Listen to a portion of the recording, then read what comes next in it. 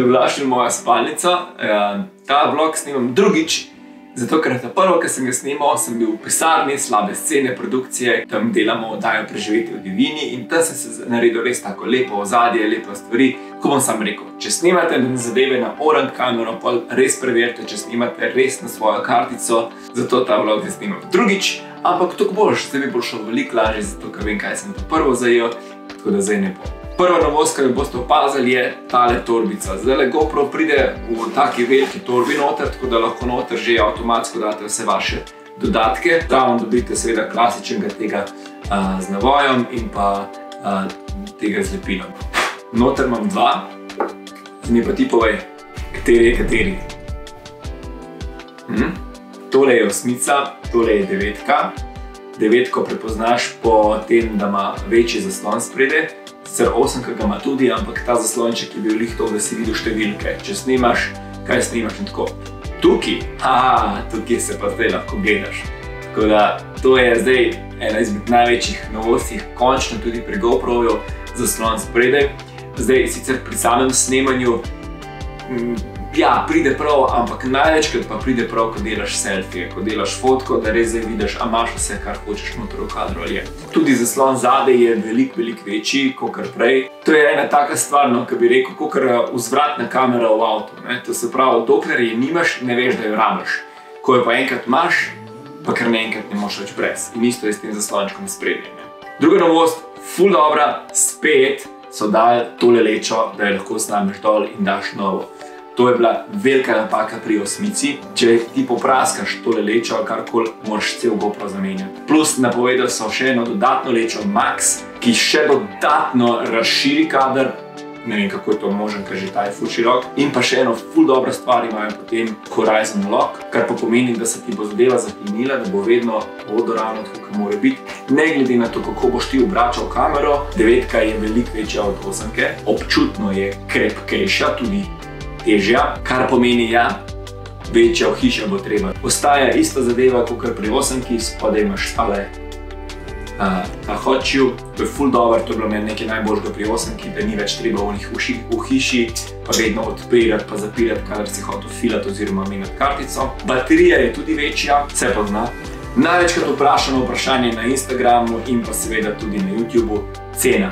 500 evrov pride, torej GoPro 9. Kar se pa tiče same kvalitete slike, zdaj ne bi jih rekel, da je, da, je, da je velika razlika. Je razlika, absolutno je tle boljša, ampak največji napredek je pri fotkah.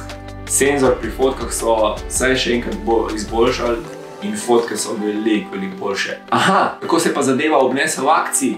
Hm, smo šli pa na izlet najprej na dolgo nivo s familijo, pol pa smo šli žigo tam še neko šutniko turano teč, zraven smo imeli tega lepotca, poglej te posnetke.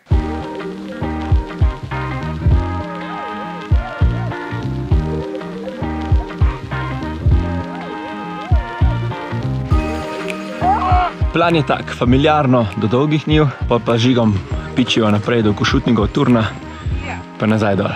In Žiga, spet sva mi dva skupaj. Ej, ja, kar, ne vem, lej, so ena sva si, ali kakor pol, ne?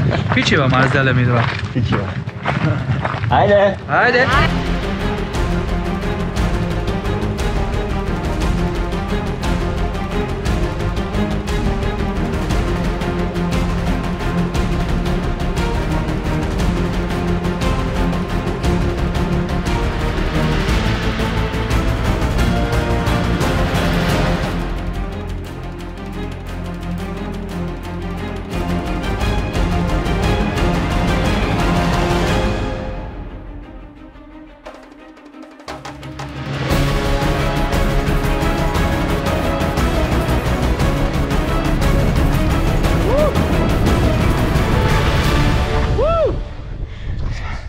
Kaj ni vedno vse v razgledu, ne?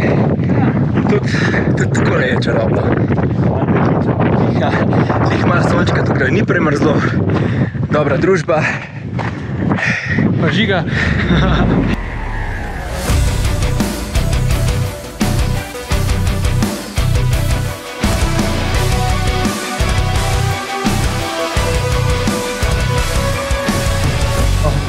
Ну, кандал мурой.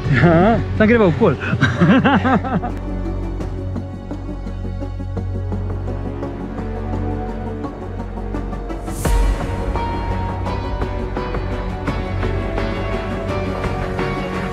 Easy. Lusta. Ага. Чао. Я тебе Bej so tle boljši štruklji, kak je? Boljši kot na kovce. Ja, ja, sorry. Tako še malo pomešaj, evo, da beste. Mmm, tole bo pa zelo dobro.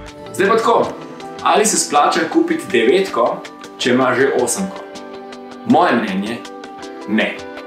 Razen, če imaš ful preveč denarja, absolutno go for it, ker ti bo devetko. Če imaš sedemko, ja, razmisel, zelo razmisel. Če imaš pa še kaj manj, pa če to veliko porabljaš, absolutno. Devetka je spet najboljši GoPro ta trenutek na trgu. Kot smo vajeni, vsakič, ko nekaj daje ven, je vedno najboljši in tudi tokrat je. Če imaš pa že osemko, pa moš fejs razmisliti. no. Tur gledam, mislim, da že ene pol ure. Ona še kar spi. Kar pa gledam na turu, je pa kronometer. Prav zadnji dan pred zaključkom tura. In res nikoli v življenju si nisem predstavljal, da bom gledal slovenca, ki se bori za rumeno majico, oziroma praktično jo ima, ampak da se bosta pa dva borila za rumeno majico med sabo, pa da eno mes skomende. Kva se dogaja, res noro. Oh Bogi ima samo še pol minute fore.